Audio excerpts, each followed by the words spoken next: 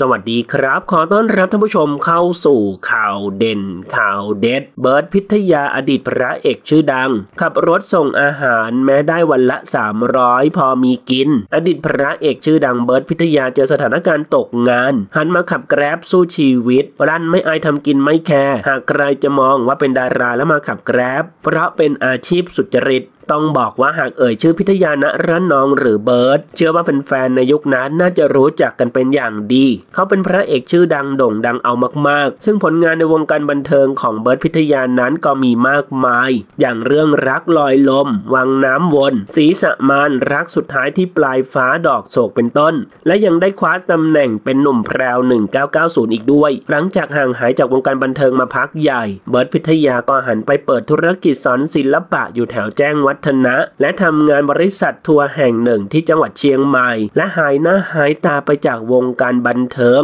ล่าสุดเบิร์ตพิทยาได้ออกมาเผยว่าที่มาขับแกร็บเพราะโดนสถานการณ์ที่ผ่านมาทำให้ตกงานจากบริษัททัวร์ที่ทำมานานถึง 10 ปี จริงๆ แล้วเพิ่งมาขับแกร็บได้เพียง 3 วัน ไม่แคร์ใครมองว่าเคยเป็นดาราแล้วมาขับแกร็บเพราะเราก็แค่คนคนหนึ่งที่ทำมาหากิน ตอนนี้คือต้องสู้ตอนนี้ก็ถือว่าสบายอยู่แต่ก็ไม่ลำบากมาก นอกจากการที่มาขับแกร็บแล้วตนเองยังหารายได้เพิ่มเติมในการขายของออนไลน์ ตอนนี้อาศัยอยู่บ้านพี่สาวที่จังหวัดเชียงใหม่ ยอมรับคิดถึงงานในวงการหลังห่างไปนานถึง 25 ปี ล่าสุดเขายังได้ให้สัมภาษณ์ว่าตอนนี้หลังจากเป็นข่าว ก็ทำให้เขามีงานเพิ่มนั่นก็คือการนำเคยดีดีหรือกะปิคุณภาพของพี่สาวมาจำหน่าย และมีผลิตภัณฑ์กาแฟดริประนอง ซึ่งก็เป็นงานที่เข้ามาเพิ่มนอกจากการขับไรเดอร์อีกทางหนึ่งโดยเขาได้ส่งภาพบ้านหลังเล็ก ซึ่งเป็นของพี่สาวที่เขาได้ใช้อาศัยมาหลายปี โดยเป็นบ้านชั้นเดียวไม่ได้หรูหราใหญ่โต และไม่ได้ปรับแต่งอะไร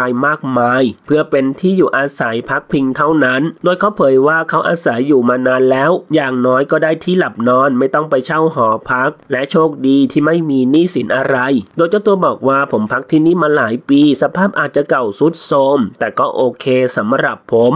ท่านผู้ชมนะครับ มีความคิดเห็นอย่างไรกับเรื่องนี้ลองแสดงความคิดเห็นกันเข้ามาดูนะครับ ขอขอบคุณข้อมูลจากไทยสยามนิวส์ขอบคุณครับ